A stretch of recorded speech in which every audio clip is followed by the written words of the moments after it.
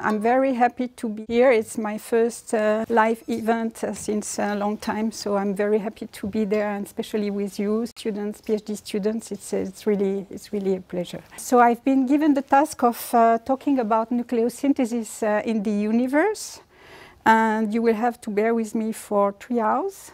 Uh, I hope you will uh, you will be happy and you will like it. It's not easy to, to cover the entire topic, even though in, even in three hours.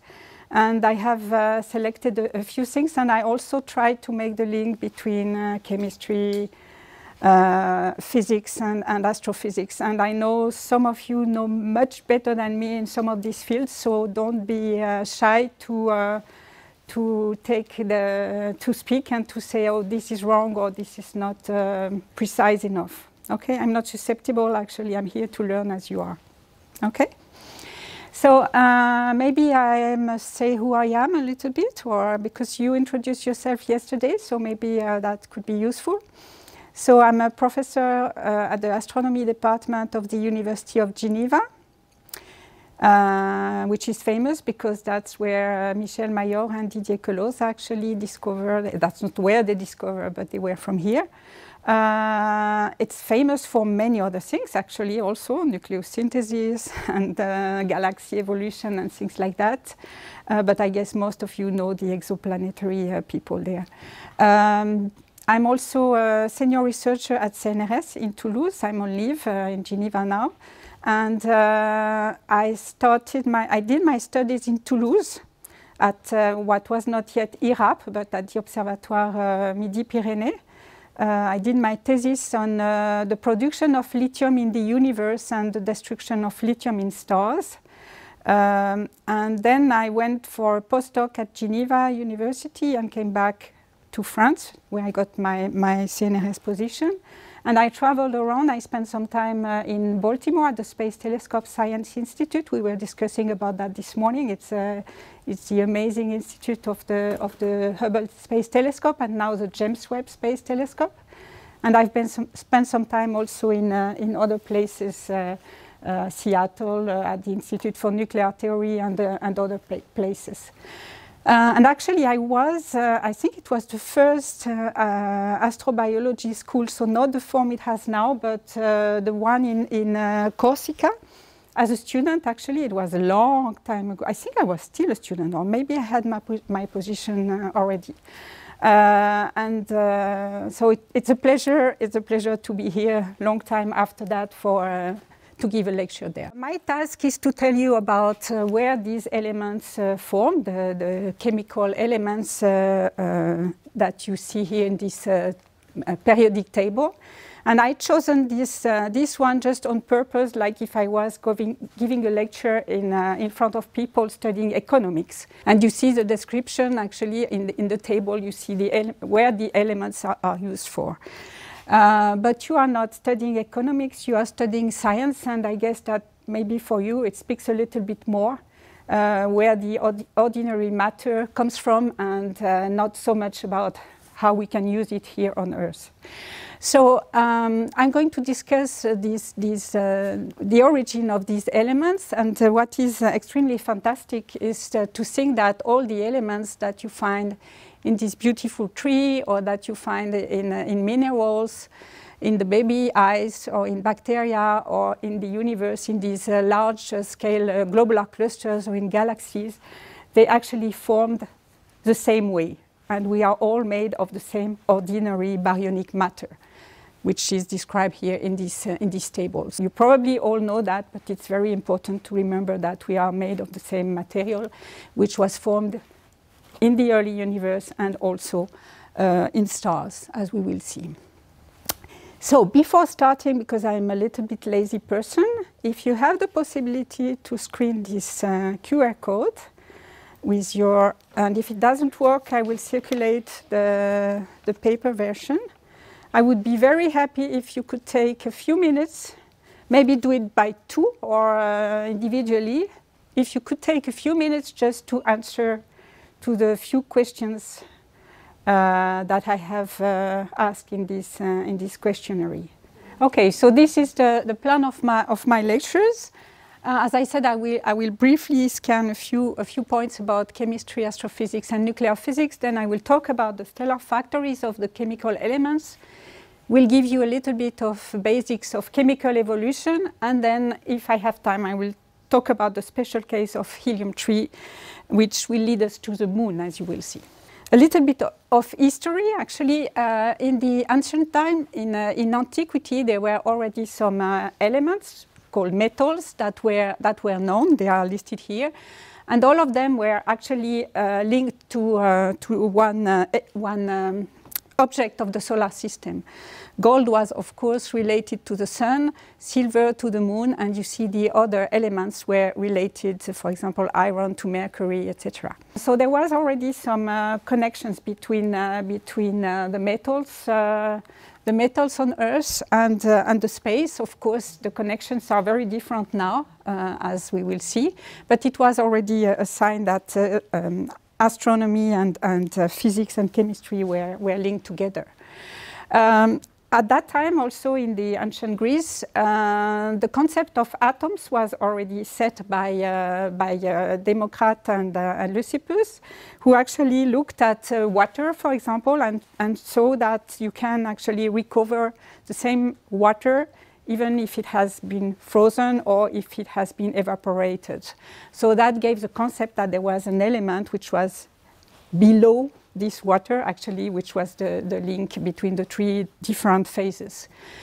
And then uh, that uh, concept was uh, lost for some time, uh, uh, also uh, due to the, to the Greeks like Thales and Aristotle, who actually suggested that there were actually four fluids, or called elements, which were underneath every material, and they call that earth, high, air, fire, water, and, uh, and uh, ether for what was going out, for what was outside the Earth, actually in, the, in space, in, uh, in the sky. And I said it was lost for some time, even though uh, in, uh, in the uh, mid eastern part of, of, of the world, there were actually people working on on uh, what was called alchemia, alchemia, which is the Egyptian art for, for alchemy. And uh, you see also in these, in these graphics that actually these people, they were investigating how you can transform matter, but they were also working a lot on, uh, on um, uh, astronomy. So everything was linked. And there is actually a crater on the moon that has the name of this, of this person who was uh, uh, a chemist and, and an astronomer at that time this concept of atom uh, was kind of lost, and uh, when uh, in, uh, in uh, Europe, actually, people started to, to do uh, science in the 18th century and starting to discover what was called element at that time, even though the people didn't know what that meant, an element, actually, they could isolate some elements from some gases, for example. We start to have a list of, of individual elements that were discovered by different techniques. And that led to the uh, renewal of this concept of uh, atomic theory by Dalton, actually, who thought that there was beneath each of these elements, there was only one atom, actually, a, a, a sphere, an atom, uh, which was, uh, which was uh, at the base of, uh, of the elements. And then the discovery of, of different of these elements went on through different technique, uh, the, the advent of uh, the electrolysis and also of uh, spectro spectroscopy allowed to find uh, different elements to individualize them. If you want actually to, to do that yourself, you can practice. I found a very nice place uh, uh, on the web where you can do all this chemistry stuff. I guess for most of you it's very easy and you have done that uh, in your studies. But uh, if you want to, to practice a little bit, you can have a look at this and, and, and do it yourself in your own la laboratory or in your own kitchen. So that led to the end of the 19th century to, the, the to the, this periodic table. Here you have a, you have a written um, periodic table by, uh, men, written by Mendele, Mendeleev, actually, which wrote this essay d'un système des éléments selon leur poids atomique et fonction chimique. So it was basically uh, putting the tables in the, the elements in a system that was actually reproducing or interpreting their chemical properties.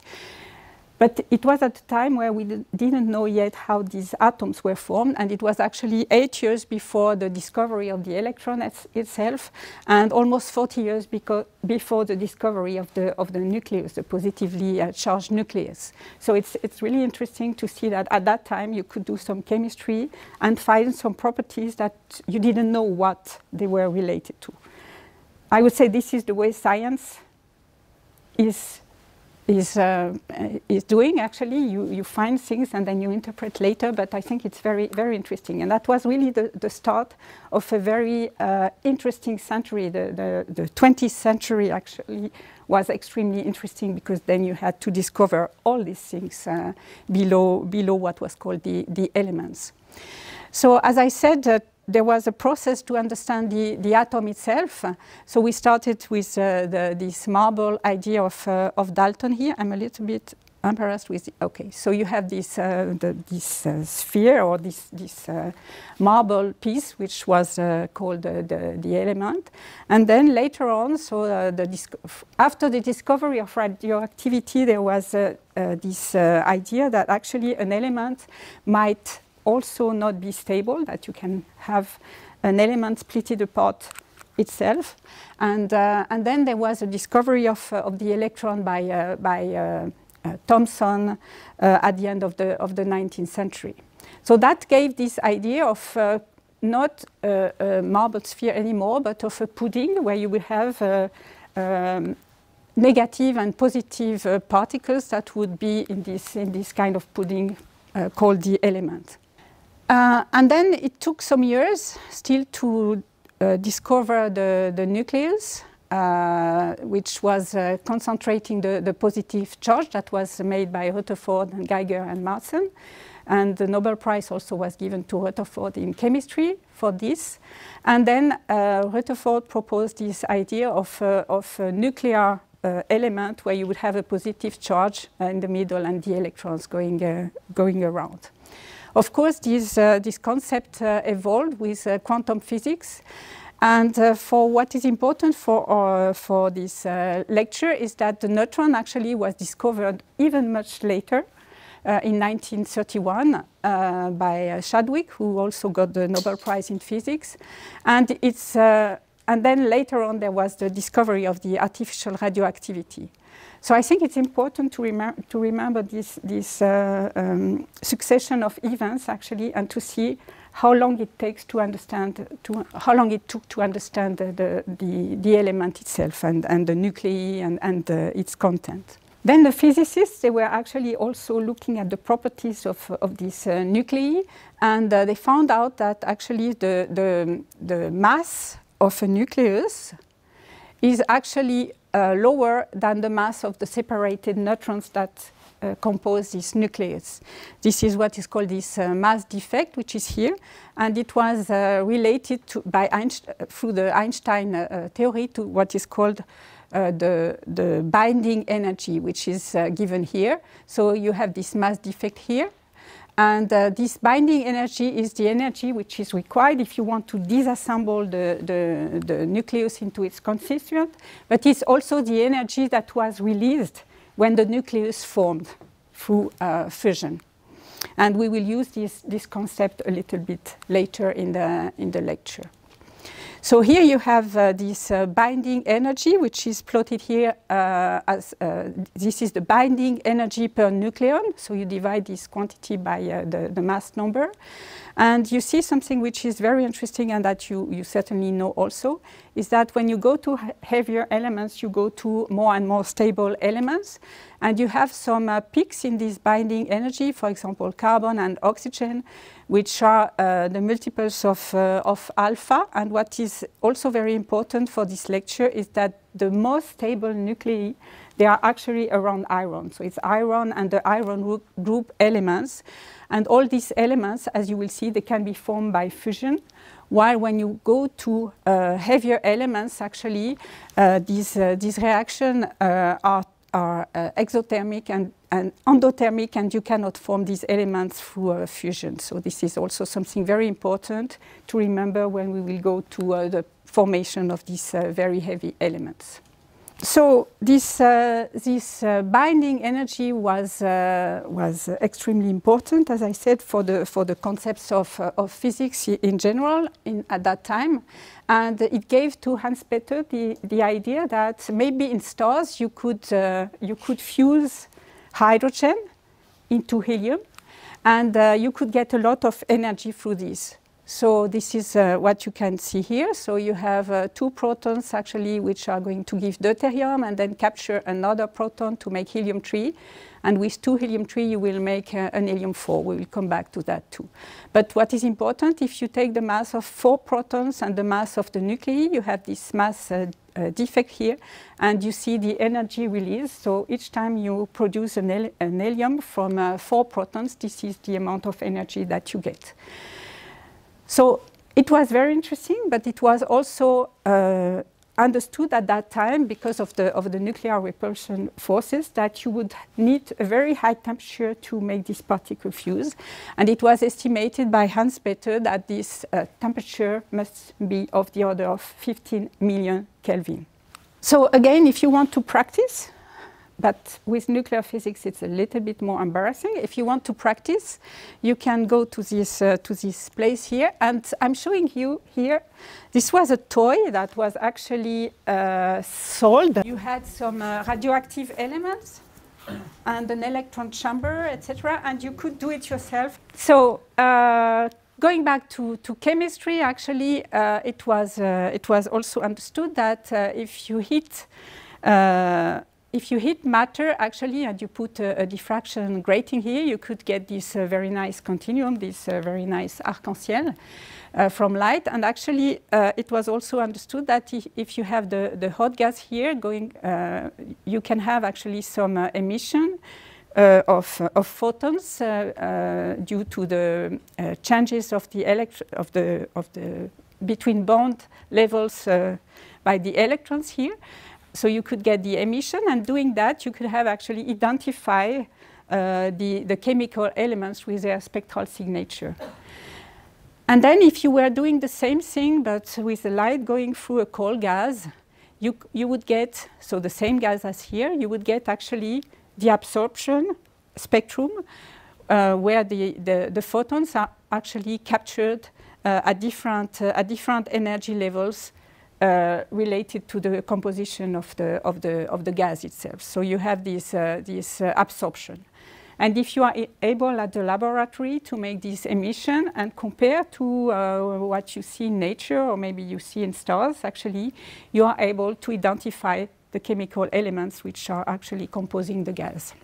So in the case of stars, and that was used very early uh, by uh, Fraunhofer uh, in the, at the end of the, of the 19th century, the idea is that if the star actually is very hot and emits a spectrum at, in the interior, when this, uh, this continuous spectrum is going through the cooler atmosphere, the uh, chemical elements of the cooler atmosphere, depending on the composition, they will actually capture some photons at, at specific wavelengths, and you would then, then get this, uh, this uh, absorption spectrum.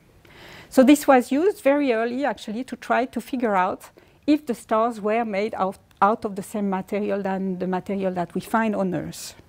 And of course, as astronomers, this is the only way we have to understand the composition of, of stars, except if you have some meteorites or some, uh, some material that you can. Uh, but for the stars themselves, this is the, the technique that uh, we have to use, of course. This technique was used to look at the sun, as I said very early on. And uh, so this is one of the questions. Where was the helium discovered first? Was it in stars or was it on Earth? Helium is, comes from uh, Helios. So it was uh, Janssen and Lockyer who uh, independently uh, looked at, uh, at the sun uh, during a solar eclipse and they found a line which was unknown at the laboratory and this line they call it helium because it was discovered in, in the sun. And it's only, uh, it's only a few years later that actually this helium was isolated in, in, uh, in uh, uranium-based uh, minerals and uh, even later in an oil well. So the, the geologs and the, the, chemists can tell me if it's wrong or if it's not precise enough. Uh, and as you know, actually, this, uh, this element is, uh, is very rare on Earth. It comes from the disintegration of radioactive minerals. Uh, and uh, you can extract it from, from different uh, minerals. So it's very rare on Earth, but it's actually the second most abundant element in the universe. It was created at the beginning of the evolution of the universe, as we will see, but it's, it's the second most uh, abundant in the, in, the, in the universe. So using the spectrum, here you have uh, the, the Fraunhofer line, actually, so this is a solar spectrum. You, have, uh, you can actually look at these lines like that, and you can describe, determine the abundances of the elements, but you can also determine a lot of things about the star, depending on the broadening, of the, of, the, of the lines, you can find if the star is a dwarf or if it's a giant star, if it rotates. If you have uh, some splitting, you can also determine the magnetic field. If you have some emission lines, you can determine the mass loss. And if you look at, for example, galaxies, you can determine their redshift and how they actually how far they are from, uh, from the observer. So this is a technique which is, of course, extremely important for, for astronomy. But actually, it's, uh, it's uh, usually people say you have theoretician and observers. It's, these are not different worlds, actually, because the observers who look at these lines and who then determine the abundances, they have to go through very complex uh, models and here you have a, a schematic uh, view of a model of the atmosphere that you have to go through to, uh, to, to put on top of your, of your data to determine actually all the, all the properties that I mentioned before.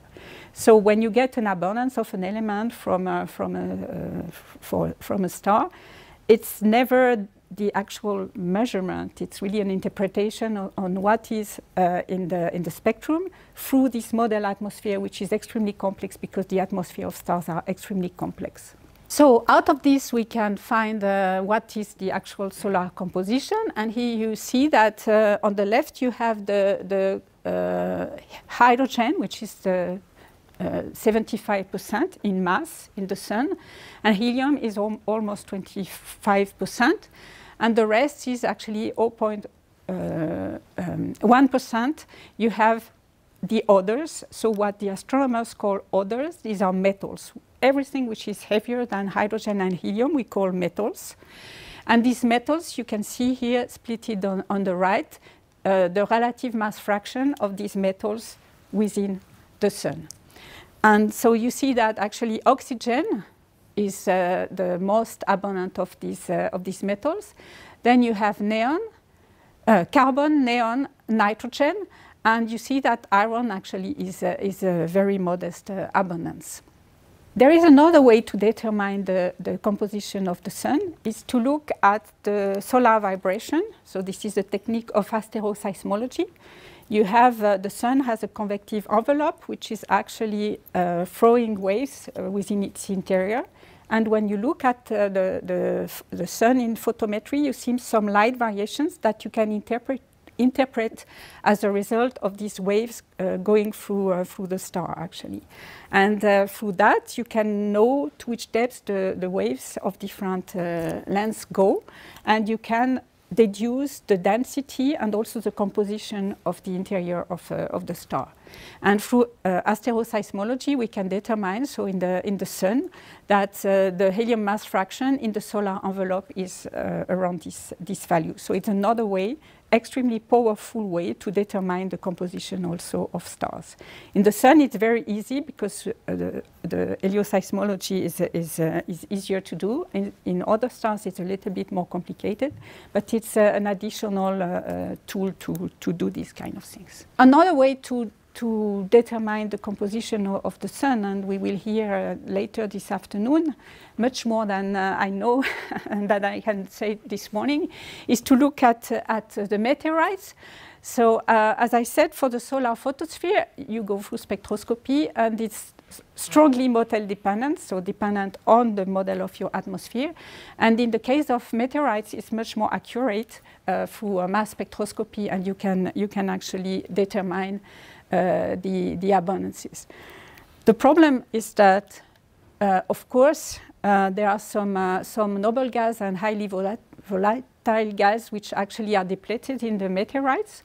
But uh, as you can see here in this plot, which compares the uh, meteoritic uh, uh abundances to the photospheric abundances, so it's in logarithm, logarithmic scale, you see that apart from these elements, actually, there is an extremely good agreement uh, over uh, almost 10 orders of magnitude between the abundances that we determine that people determine in the meteorites and the abundances that we determine uh, in, the, in the sun, in the, in the photosphere of the sun.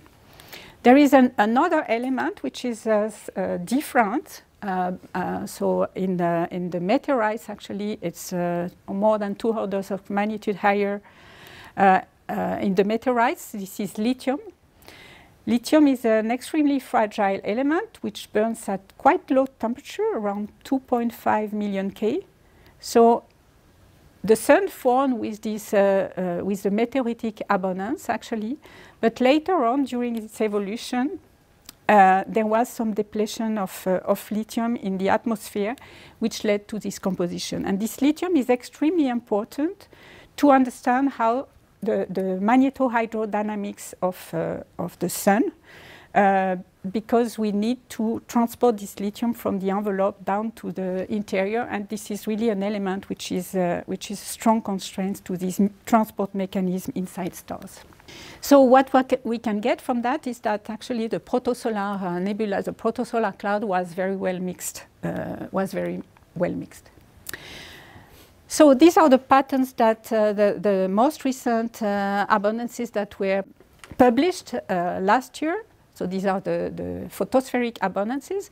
And you see, interestingly, some, uh, some patterns uh, in these abundances. So you see, this is the, the abundances, they are here in logarithmic abundance, where you take hydrogen equal to 12. So this is the, the reference element here, hydrogen equal to 12.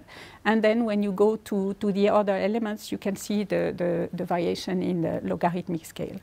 So you see again that hydrogen and helium are the most uh, abundant ones. Lithium and, uh, is strongly depleted. We have also uh, beryllium and, and, boron, which are quite low abundances. And then you see these uh, very interesting patterns where you, you recognize carbon, oxygen, neon, magnesium, and maybe you already count that these are multiple of alpha. And as we will see in a minute, this is directly related to the, to the nucleus uh, uh, property of the elements.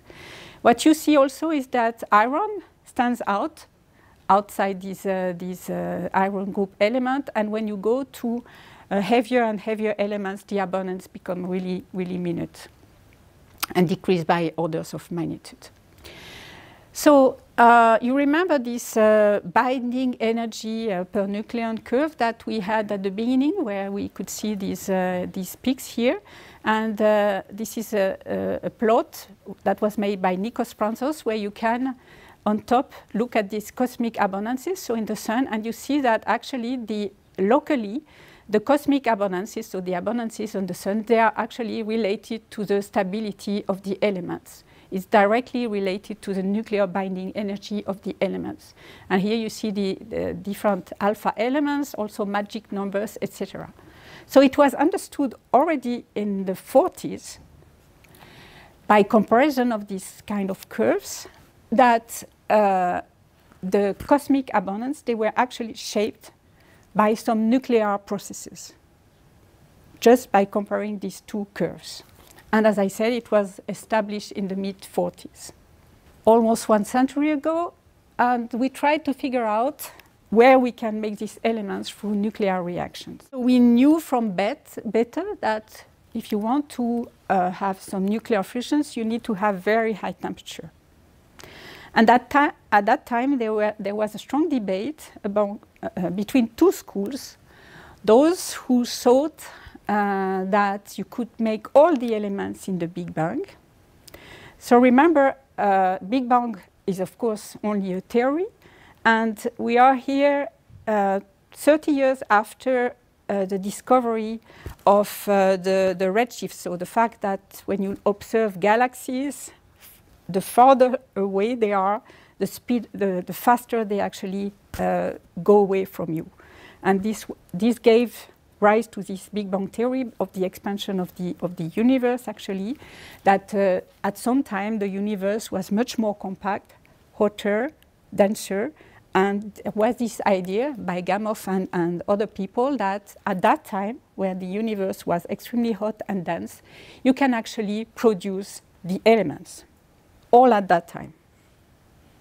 And then there was another school led by Hoyle, uh, who proposed that actually the elements they were more they were made in the core of, uh, of stars by thermonuclear reactions, and these people were actually really fighting uh, to, to, to defend both theory. And then, of course, as usual, they needed some observational evidence. So at that time, there were observations of, of globular clusters. So here you have a sketch of, uh, of our galaxy and the small points that you have here. These are globular clusters. So these are very old clusters of stars, almost as old as, as the galaxy, 10, 13 gigayear. And in these clusters, we found some stars that had actually much less metals than the sun. Uh, and they were, we found also in the halo of the, of the galaxy, when I say we, of course it's the astronomers, uh, they, were, they found uh, some uh, very metal poor uh, stars with very little uh, metals. So this was embarrassing because that meant that if you had formed the metals in the Big Bang and then you see stars that have different abundances, that was really a, a plus for the, for the stellar um, nucleosynthesis. And then there was another evidence, which was uh, really the clue uh, for this. It was a discovery by, uh, by Merrill uh, in a giant star of technetium, which is an element that you find that has no stable form. It has a, a, a lifetime, I don't remember exactly the lifetime, but the point is that if you were finding this element in a star, and if you could age date this star, which uh, at that time they had some ways to age date the stars, you, you were finding that the star was much older than the lifetime of this element. So that meant that if you could see the technetium in this star, then the star had to produce it itself. It had to be produced in situ. So these two, uh, these two uh, points, these two observations gave rise to a new field which was called the nucleosynthesis. And there was this uh, seminal paper which uh, I encourage all, all of you to look at. Uh, it was written in, in the 50s and um, which describe actually all the ways you can have to form stars, to form elements uh, through nuclear reactions in stars. Both Gamow and Hoyle were right, actually. Why? Because Gamow, if you, it depends if you take uh, the mass of the elements, actually. Hydrogen and helium, they are the most abundant, so you could say everything was formed in the Big Bang. Okay? And the rest, these are the metals. So you, if you count in terms of the number of elements, then Hoyle was right because you produce many more elements. But in terms of mass, actually, that was, uh, that was Gamow who, who was right. Okay, so stellar factories. Uh, I will go through very basic uh, uh, ideas about stars. This is the sun. But you probably know that stars along their life, they evolve and go through very, very interesting phases. And they undergo very, very interesting uh, processes. We will go through these, uh, these processes later on, but I already wanted to, you to enjoy these beautiful uh, pictures of, of stars at different phases of their evolution. Also, the stars, we know that they are formed in, in uh, giant molecular clouds, and most of the time they are formed in groups. You don't form a star alone, you actually form stars in clusters. And we see these clusters actually evolving and sometimes dissolving. Here you have the, the Arches cluster, which is a, a large number of, of very massive stars. So my first question to you would be, why do stars shine? And don't be shy to tell me, why does a star shine? Come on, I... Nuclear synthesis inside of it? Nuclear synthesis, another idea. So you're right partly. It's like Gamow and Hoyle. Yes, it, it, makes a lot of energy that Yes, uh, yes. So this is the reason why stars shine for a long time. But it's not the reason why they are shining. Is they hot? They are hot, yes. They are hot. You see? So it's the time where I present you my family, actually. And you see, actually, well, you probably have gone through these things over the two, two past years, you know, to get your temperature uh, uh, like this. So this is because they are hot, indeed. So here you have the, the spectrum of, uh, of the sun. So this is the, the energy flux that you have per unit of time and, uh, and, uh, and per unit of surface as a function of the wa wavelengths. And you immediately recognize that, so the spectrum is in black, and you immediately recognize this the black body spectrum of the sun. And you know this Stefan Boltzmann, Wien's law, etc., which uh, gives you the, the temperature of this black body through different, uh, different waves. And uh, if you want to determine the total energy flux of your star, you're going to integrate and you will get this, uh, this relationship with uh, the effective temperature, TF, which is actually the temperature of the photosphere of your star, not the interior, but of the photosphere of the star, the, the layer where the photons escape. And to get the luminosity, the total luminosity, you have to integrate over the entire radius of uh, the entire surface of the sun. So this is how we can get the luminosity and the effective temperature together. So you see actually that uh, the hotter the surface, the higher the luminosity. So of course, uh, you know that depending on your temperature, you're going to shine at different wavelengths. This is shown here. And um, so here you will have, uh, if you go to a, a very um, a massive star, which uh, has a surface temperature of this order, 15,000 K, this star will actually emit most in the UV, but if you go to a cool star, it will emit more in the infrared. Okay? And here you have the total the spectrum of the sun. Here you have Vega, for example, where you have very specific lines. And here you have a very cool uh, M-type star, which emits most in the infrared. And uh, here humans, we emit at this, uh, this wavelength roughly. So, but then why are the stars hot? And it's not the same reason why we humans are hot, actually. Except maybe at the end of your life where you start. Well, they are hot because they are just a sphere of gas. This gas is actually condensed because of gravity. So I'm, I'm a ball of gas confined by gravity, and what is this gas going to do? It tries to contract, okay? So if you have only gravity and pressure, so the pressure is going to counteract this gravity.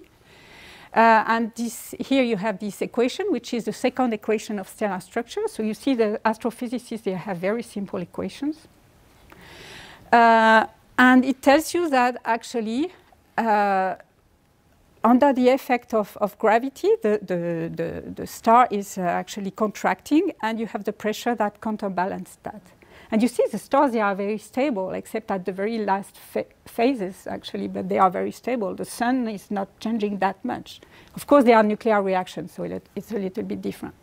But, uh, but you see that you can shine just because you are a ball of gas contracting. Okay? And with this very simple equation, you can actually find the pressure at the, at the center of the sun. And you can also, if you take an equation of state, perfect gas, you can determine like this, the temperature at the center of the sun, and you will find something of the order of 20 million K.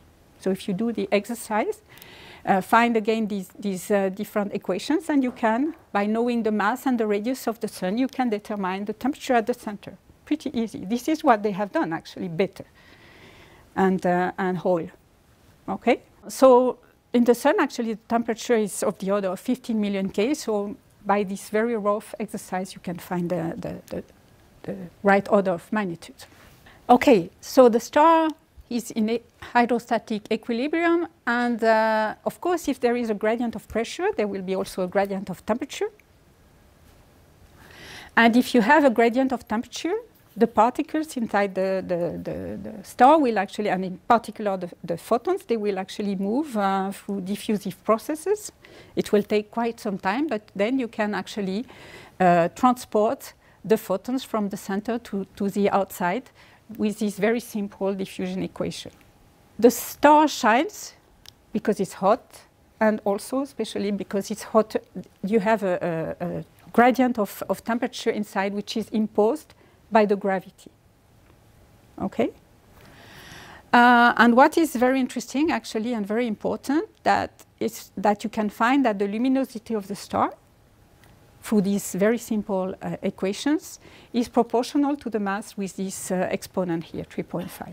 And you don't need to, to, to do that. You don't need to have any assumption about nuclear reactions. You can find this, uh, this relation by observation. So here you have actually the, the luminosity uh, the luminosity of different stars as a function of mass. And uh, here in this case, the, these are stars that were in, uh, in, um, in binaries. So it's easier to determine the mass of the star in binaries. And also we knew the distance through parallax, precise parallaxes. So here the, you see the error bars are quite small and you find this beautiful uh, correlation between luminosity and mass. So if you remember only one thing out of my lecture is that mass matters. Okay? The hotter you are, the brightest you are. But if you look at, if you compare actually the sun, so this is the power of the sun, and uh, it's what you actually, uh, the, the 100 watt is what you actually, uh, the, your own power. If you eat, for example, uh, 25 apples a day, etc., this is the comparison with the calories. And then if you compare the mass, this is the mass of the sun, this is the mass, uh, rough mass of humans, and then if you compare actually the luminosity per mass, we are extremely more powerful than uh, stars after all. It can shine just because of gravity, but how long can it shine through gravity? So if you want to determine how long it will last, you can use this virial theorem and find that actually half of the energy which is liberated by contraction, the gravitational energy, will be used to heat the star. So when the star contracts, the gas uh, becomes hotter. And half of this gravitational energy is radiative, radiated away. So uh, in the case of an ideal gas, you have this relationship between the luminosity, the internal energy, and the gravitational energy. And uh, the time you can shine with only this, uh, this contraction is given here. So it's the internal energy divided by luminosity or the epsilon grav divided by 2L because you have the 2 here. And you get this, uh, this quantity which gives you, for the case of the sun, this value of 15 million years. Okay, so if you are just contracting like that, the sun can last for 15 million years. If I turn off the nuclear reactions, it will stay like it is now for 15 million years. Uh, okay, but of course, if you want the, the stars to shine uh, for longer, you need an additional energy source, and this is where you were right, actually. Okay, so uh, now if you compare this uh, Kelvin uh, uh, quantity, which was actually determined at the end of the 19th century, huh, this, this, this age, you all know actually better than me that there, are, there were ways also to de determine the, the, the, age of the Earth. And actually, uh, Kelvin also computed this, uh, this value, but he was wrong uh, because it didn't account for the, for the um, radioactivity and for other reasons also I think he didn't use convection in his uh, uh, model of the Earth, etc. Uh, but at that time, it was okay to find these uh, two quantities like that because uh, it was okay with the, the, Laplace hypothesis that the protosolar nebula and the, the, Earth actually they formed at the same time. So these quantities agreed, but it was by pure wrong coincidence that they were agreeing. And of course, this was very early on in conflict with geology and with uh, Darwin observations. And it's thanks to uh, radioactivity that things could be uh, uh, put together. Uh, so radioactivity also uh, gave this idea of this additional heat uh, source inside the inside the, the Earth, and it was used also to age date the meteorites and to find this this age of 4.5 gigayear for for the Sun and also for for the meteorites. By the way, this is the only star for which we know the age, actually. The sun is the only star for which we know the age. So when we derive the ages of stars, we go through models which are extremely complicated because there is a lot of hydrodynamics, nuclear stuff, etc. So we do these models and then we say, out of what we know from the sun, we extrapolate with our models to determine the age of other stars.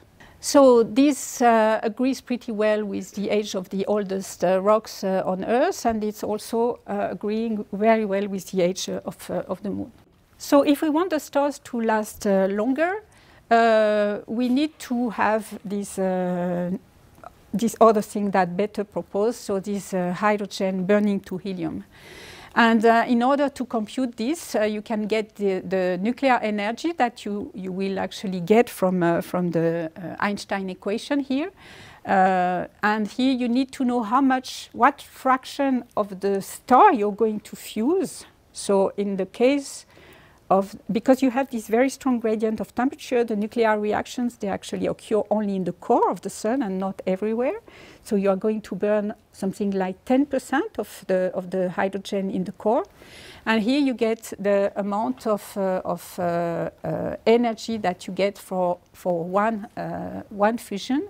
And at the end of the day, if you compute, you get this nuclear timescale, which is actually proportional to the mass and inversely proportional to the luminosity of the star. And if you actually remember this relationship, you get that the lifetime of a star through which, through which is actually burning hydrogen into helium. And you will see this is the longest phase of nucleosynthesis uh, in, uh, in stars. You get this quantity for the sun, so roughly 10 gigayear, meaning that we are, the sun is at the mid of its life. But you see that it's a little bit counterintuitive, but uh, the more massive the star, the shorter its lifetime.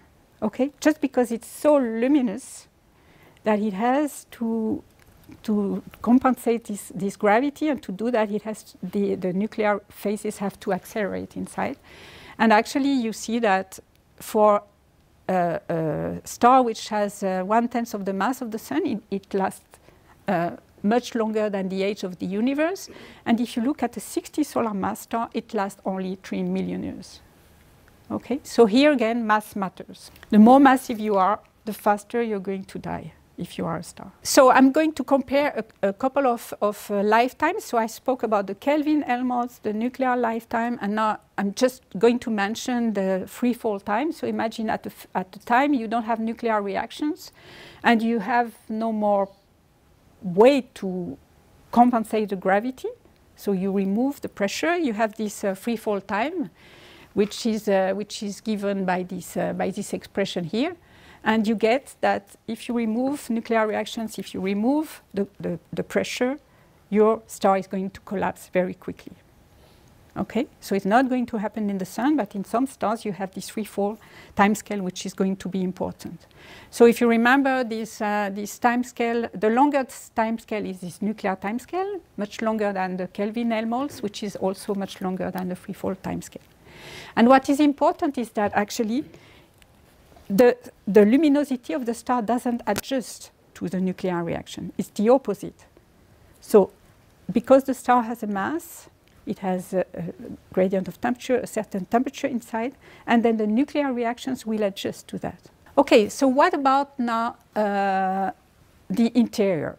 So we spoke about the sun, the temperature inside the sun, and here in this plot you have uh, the temperatures in logarithm at the center of stars. So these are models, stellar evolution models, uh, where you see the temperature, the central temperature versus the central density.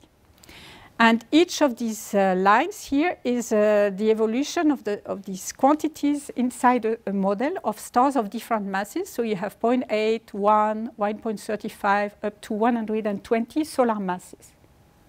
Okay? So we go from the low mass stars to the massive stars here. And you see that the more massive the star, so the beginning is here of the evolution. Uh, and you see that the more massive the star, the hottest and the densest the core is. So the stars, they will move like this because the core is actually always contracting a little bit. So you will actually move to this direction where you will see the density and the temperature increasing all along the evolution of the stars. And here, during this phase, here you will burn hydrogen. Then there will be no hydrogen anymore. The star will contract, zoops, go to helium burning, and then zoops, go to carbon burning, eventually, if you are a massive star. Okay, if you are a massive star, you go through all these phases of nucleosynthesis that I will detail later. But you see that the more massive you are, the further you can go. Now, if you are a low mass star, you have a problem because at the end of the evolution, you see that you enter this uh, very uh, this region, which is actually the region. What I forgot to say is that here, in the case of massive stars, you are always you can always consider that you are you have an ideal gas. But when you go to the low mass stars, at some point, you will have the degeneracy, electronic degeneracy that will happen. So in this case, you will have when the, the, the, the, core contracts, you will have these poor electrons that will have, you know, to, to fight with each other and to align in the, in the different levels. And this will actually give the pressure to your star. This is a state of a white dwarf, actually. So when you are a low mass star, at a certain point, you enter this very uh, scary regions where you have this degeneracy and you cannot go further on in the evolution. You cannot do this nuclear burning uh, easily. So again, mass matters for this reason. If you are a small star like the Sun, you will go through these phases that we will see later. So you will go through the red giant phase. At the end of your evolution, you will become a beautiful planetary nebula. And then you will end up with a white, as a white dwarf with the core being these degenerate electrons, carbon and oxygen. Now, if you are a massive star, you will go through the red supergiant. You will eventually explode, eventually as a supernova, and the, remain, the, the, the remnant will be either a neutron star or a black hole. This is, a, this is a, a, movie that was made. So Gaia is a, satellite you probably heard of, which is actually looking at the distances of, uh, of stars in the galaxy. So the idea is to make a 3D uh, vision of the galaxy. And here what you see in this plot is that these are stars. This is the number of stars that you have and uh, which have different colors. And because we know very well their distances, we are able to determine their, their luminosity. And you see that the stars, when you do that, you, you plot them. Uh, so this is the luminosity here, and this is the color here. And you see that the stars that were taken randomly, actually, they align through this beautiful diagram. So again, luminosity versus color. And color means temperature. So remember, if you are red, you are cool, and if you are hot, if you are blue, you are hot. Okay, so you go from uh, from uh, cool stars to uh, hot stars, and you go actually from low mass stars to massive stars. So this is one of the most important diagrams for, for stellar astrophysics. It's called the Hertzsprung-Russell diagram. Uh, so here you have again the luminosity the color, and here you, you, have the effective temperature, so you go again to, to hotter uh, temperature on the left, and you see that if you take stars randomly, they align beautifully in different places of the diagram. They are not randomly uh, uh, in this uh, put in this diagram. They are really aligned in different phases. Uh, so what you see is that there is this beautiful here line, which we saw before in the movie, which is called the main sequence. And this is actually the, the line where the, we have this relationship between luminosity and mass with the uh, exponent 3.5. And you see, this is the time actually where the stars are spending most of their life. Why we see them here? It's just because they spent most of their time here. 90% of their life they will spend on this main sequence. And this is this central hydrogen burning phase. Okay? And then eventually, they will move to other places in the diagram. So if I'm the sun here, I will move here, come back here, and then go whoops, like this. So here you have also an accumulation of stars. It's because this is the second phase of nuclear burning. This is what we call the clumps. This is when the stars are actually burning helium at the center. And then you will move to other places and eventually become a white dwarf here. Okay? So now we will see why the stars are going to move in this, uh, in this area. But remember that a star in this diagram stays there for 90% of its life and then starts to get around. Not in a stochastic way, it goes in this diagram with a very specific way. The stars burn hydrogen for most of their life, then they are going to contract again, burn something else, and move around in this HR diagram. Change colors, change size, etc. That's funny. Huh? And then, of course, the dye. The first part, you already heard about that. Actually, I'm talking a lot about this hydrogen burning. So this happens through different ways. So it's just making an helium out of four protons, but you can do it different ways. So in cool stars like the sun, uh, so stars with masses below a certain value, let's say 1.2, you actually do it this way. You actually take first two protons, and you make and you make a deuterium. This deuterium eventually capture a proton, make helium 3. And if you have two helium 3 around, then you can make an helium 4. And if you count, and you're going to release two protons. So if you count, you put uh, you put six protons, and actually uh, you get uh, you get two protons out, and you get one helium 4. And you can go through different phases. The helium-3 can eventually go capture an helium-4 and then make beryllium, lithium, and, uh, and at the end of the day, we'll make an helium. Okay, I'm not entering the details, but that's more or less what stars do. And in the case of the sun, the, the, it goes through this uh, path. 70% of the nuclear reactions go through this path, and then the rest goes uh, in this direction. But the net result is the same as Bethe had uh, uh, computed. So you get you take four uh, you take four protons, you make uh, one helium, you release actually neutrinos, which was very important also neutrinos.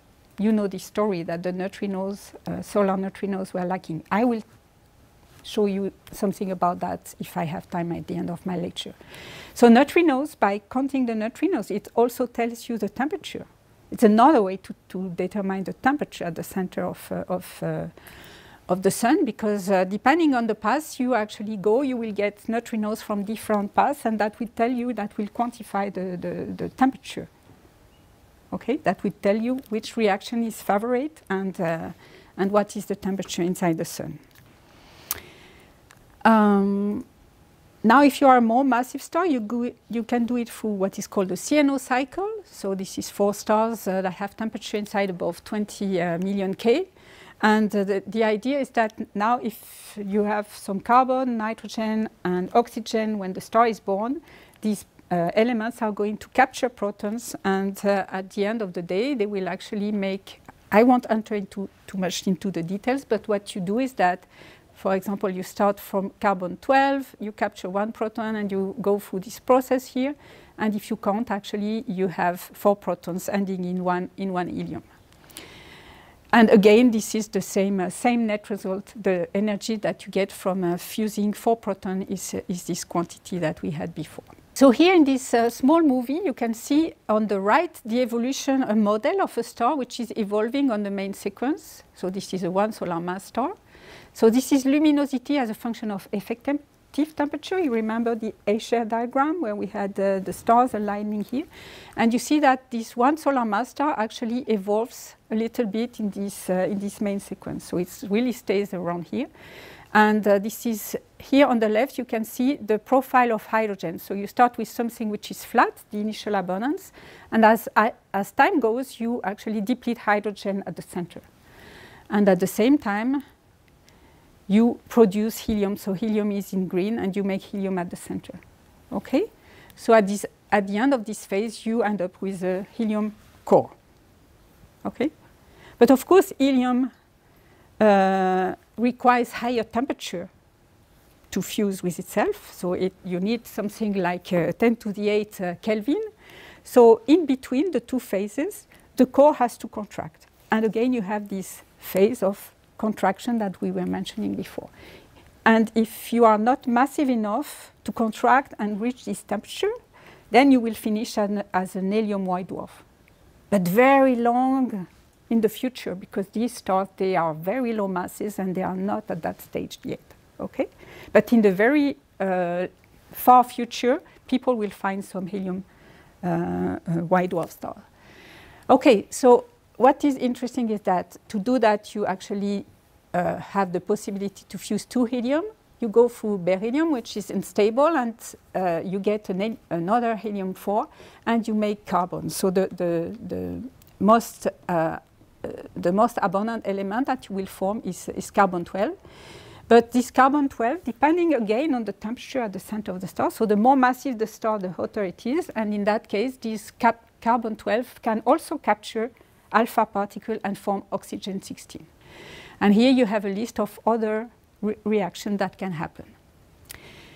So at the end of helium burning, you have carbon and oxygen. And if you are a low mass star, you will, stand, you will stop here and you will become a carbon-oxygen white dwarf. What is very important at that phase is that, so here you see the, you see the, the star and at the very, very center, so it's really a very compact core, you have the, the, the core which is burning helium.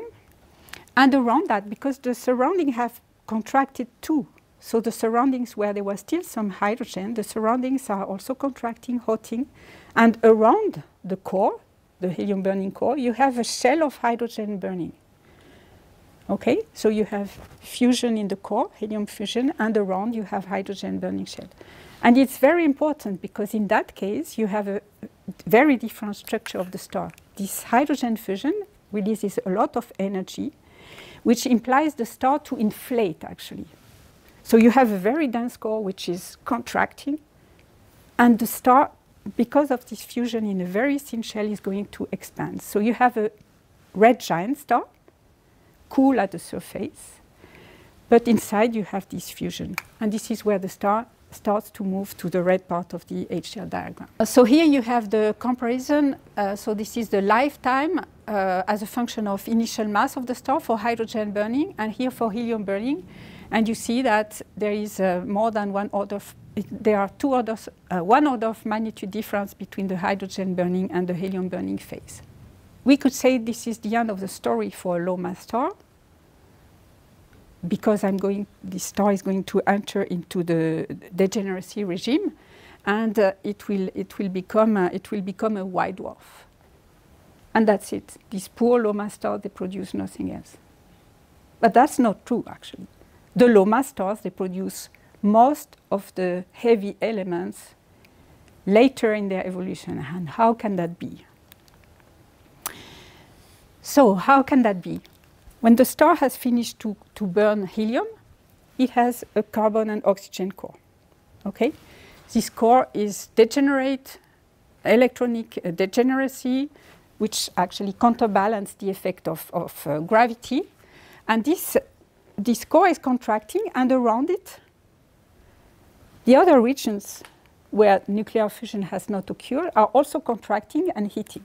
So the star has actually two shells, a helium burning shell and a hydrogen burning shell. And you can see here, the so this is a comparison. So the, the core, which you see here, is really, really very tiny. Here you have the size of the star. It can reach uh, 500 times the radius of the, of the sun while the core itself is only one-tenth of the radius of the sun. And what is very important, and I don't think I will go into too much details, is that in this phase, you have, you have this, uh, this thing which is happening. So here, this is what we call a Kippenhahn diagram. So this is the center of the star would be here. The surface would be uh, very far away. And here we are just looking to this uh, um, outside the carbon oxygen core, which is this uh, small thing that we were having here. And then we are looking at this region. So outside the carbon oxygen core, you have this helium burning shell. And here you have the hydrogen burning shell. And what happens very regularly is that these two shells are going to contract and because the uh, helium burning is actually extremely dependent on the temperature, is, uh, the energy is uh, re um, related to the temperature with a power of 40. From time to time, you will have a, a, flash that will occur to release this energy. So you have a runaway of nuclear reactions, helium nuclear reactions, which will lead to the development of, of a region which will go and extinguish the hydrogen burning shell you will have you will have a mixture of, of different uh, different elements. So in the hydrogen burning shell, you burn hydrogen as we have described before. And uh, in the helium burning shell, you produce carbon and oxygen. But when you have the helium flash, actually, you mix the products of this shell with the products of this one, and you engulf, in particular, a lot of nitrogen, which was produced by a hydrogen burning shell. And this nitrogen ca can capture alpha particle. It's very hot, you can do these things. And then you're going to produce neon 22.